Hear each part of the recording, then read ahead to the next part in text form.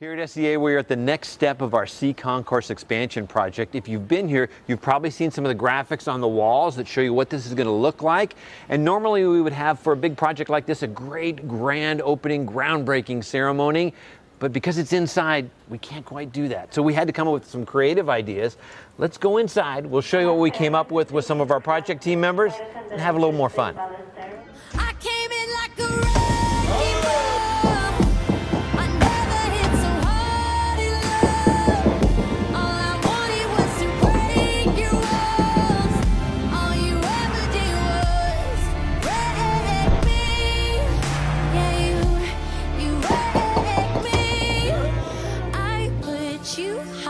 up in the sky and now